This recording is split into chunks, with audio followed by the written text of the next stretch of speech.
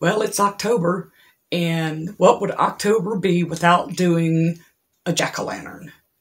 So, today's mob head for our Minecraft blanket is the snow golem, also known as the jack o' lantern. So, this guy is player constructed. You have to stack a couple of blocks on top of each other and then put like a pumpkin up on his head. Um, I think. In this thing wears the pumpkin like a helmet which sounded pretty cool. For this project, I am using Premier Yarns, their basic collection, which is a budget yarn, and filling in here and there with different colors of I Love This Yarn from Hobby Lobby. And I'm using a 6 millimeter crochet hook, and all my graphs are 8 by 8 8 by 8 meaning 8 bobble stitches wide, 8 rows tall. Today's colors are orange, it's a jack o' lantern, cocoa, which is a light brown, mahogany, which is a darker brown, and fern green. Just the four colors. Check those scrap bins. I'm telling you, this is a good way to get rid of some scraps. So I already told you about the graph and I told you about my hook size. Now you know about the yarns. So the next thing is the stitches that you need to know in order to do this project. You need to be able to do a chain stitch, a single crochet in the back bump, a regular single crochet, and a bobble stitch, which is five double crochets together, followed by a single crochet. In this next segment, I'm going to show you how to do all those stitches, as well as changing colors and doing the border around the block. So, if you're new, you're going to want to stick around for this. If you are unsure about how to do like the bobble stitch, then you are going to want to stick around for this. But if you have already seen this segment and you are quite confident in what you are doing, please skip ahead oh, about 12 minutes and you will be able to see what the snow golem jack-o'-lantern looks like. So go ahead and watch that now. Okay, so the first thing that you're going to want to do is make a slip knot.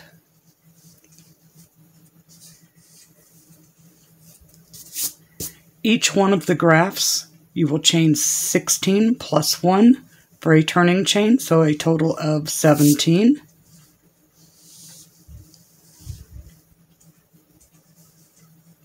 You will then turn and do a single crochet into the back bump. In 16 of the chains you're going to chains you're going to skip the first one. You will back bump single crochet all the way across till you reach the end of the row. And when you get there you should have 16 okay so I have 16 it should look like this. Both sides look nice Makes it easier for when you add the border. So for the first bobble row, you will chain three.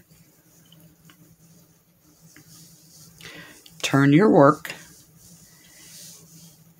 And we're going to do four double crochets, incomplete double crochets, into the same stitch that our chain stitch attaches to.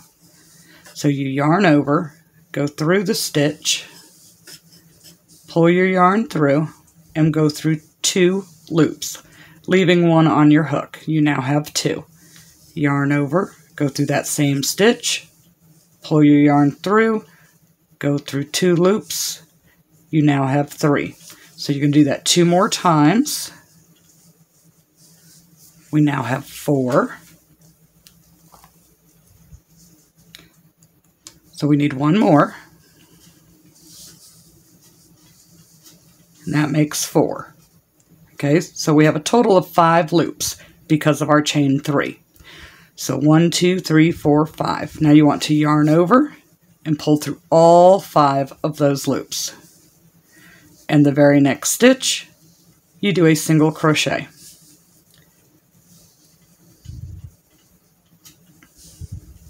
That single crochet is what gives you the nice pop out bobble.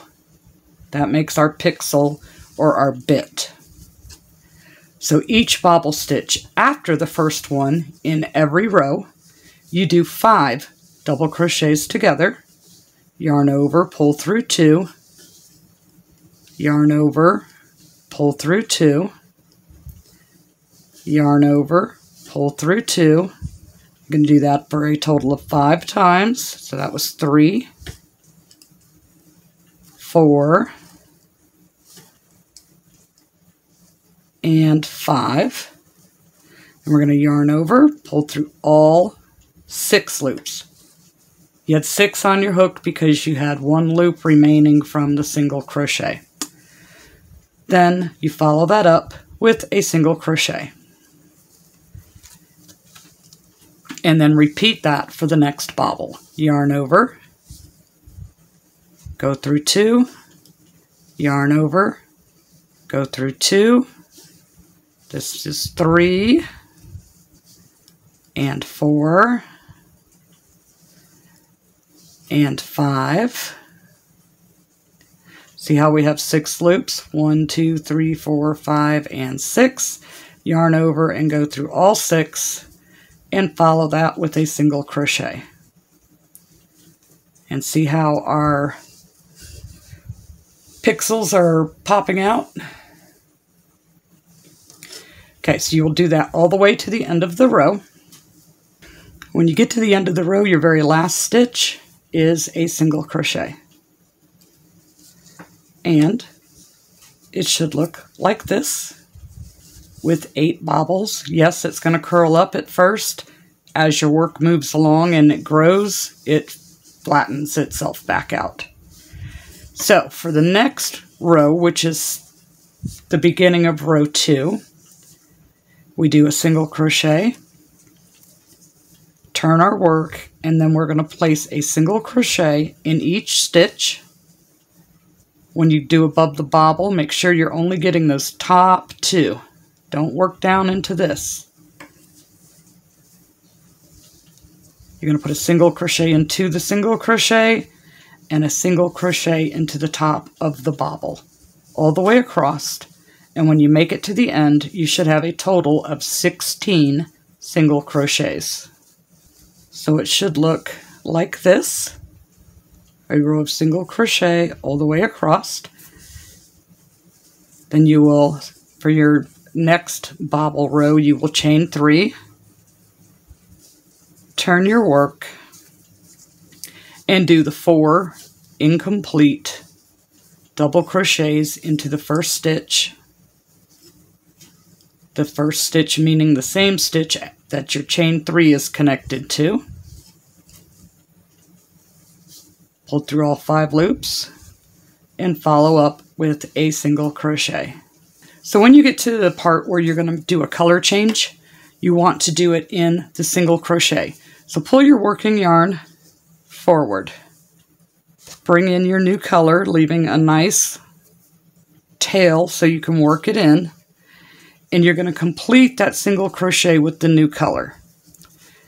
And, you know, pull it snug, not super tight, but pull it down snug. And we're going to work over top of those. So we do a bobble because our color change was in the single crochet. So that's two, three, four, and five. Yarn over, pull through them all, and a single crochet into the next stitch. Now this particular one has two of the black um, bobbles. So do the second one. It's two, three, four, and five, yarn over, pull through all six, go to do my single. Now I need to go back to my other color, and I carried it with me. I don't always carry it with me, but these are such small surface that when I only have one or two blocks of one color, I will carry the color with me if that is what comes next. Okay, so I'm going to pull my black forward bring up my other color, complete the stitch with that, and we're going to tighten it down. You know, just make it a little snug.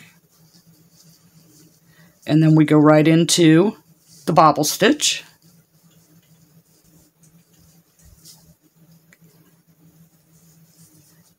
Single crochet. Okay, so that looks nice and clean from the front side.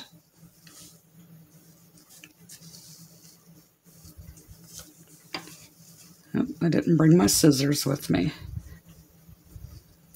Okay, so I'm just going to let that fall forward there and move on to my next bobble. Okay, so depending on which pattern you're working on, you're starting to see it take shape. You will continue this process for all eight rows and then we will come back for the border. Okay, once you've completed your block, you want to put a border around it. Each of the blocks will have a border just to make them easier to sew together. So you're going to start wherever you would like. And some people like to start in corners, some people like to start on the actual edge of it itself. So you're going to single crochet into each stitch across the top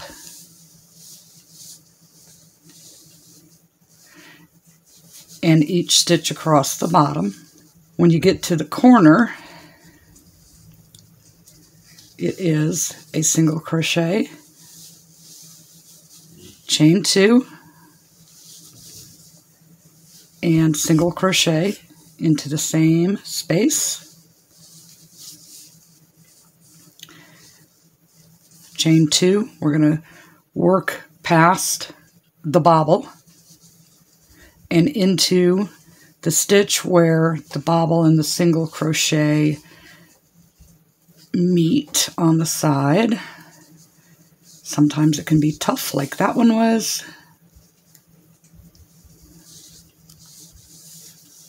Okay, chain two, skip over the bobble and come into that single crochet. That one was a little easier. Chain two. Skip over the bobble. Go into the single crochet. So that is how you handle both sides. And the corners are single crochet, chain two, single crochet, Across the bottom and the top is just simply a single crochet into each stitch. The second round of the border is double crochet in each stitch across the top.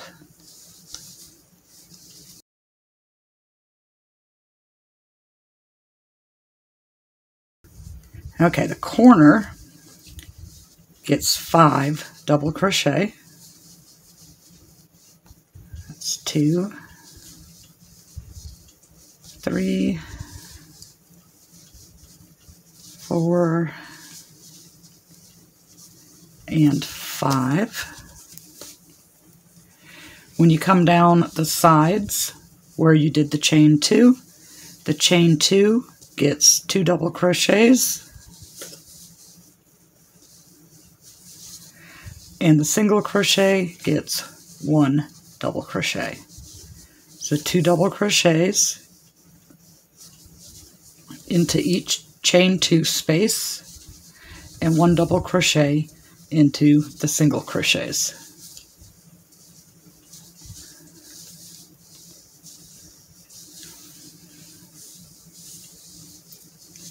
So you will work that all the way around top and bottom, one double crochet in each stitch, all four corners, five double crochets, and the bobble sides where the chain twos are, two double crochets in the chain two space, one double crochet into the single crochet. And once you complete that second round, your block border is complete. So it's one round of the singles and chain twos and one round of double crochets. And it looks pretty darn cool if you ask me. All right, so that looks pretty darn easy, doesn't it? Yep, it sure is. Once you get the hang of that, get in the groove, changing colors and all that, you'll just whip through these squares like they're nothing. So, our October surprise is a snow golem, which is a jack-o'-lantern. And here's what this handsome little devil looks like. Kind of looks like a rotting jack-o'-lantern. He's got the two shades of brown for his eyes and his mouth, the orange, of course, for his pumpkin shell, and the green is the border. So I think he's pretty interesting looking. And that's what the back looks like. The front, you can see the bobble stitch, how they pop up, and that's our pixels or our bits for our pixel art that we're doing with our yarn and our crochet hook instead of crayons and markers. So, what do you think? Are you all caught up? If you are, and you can go to this next video right here by clicking on that box, and you have another one to do.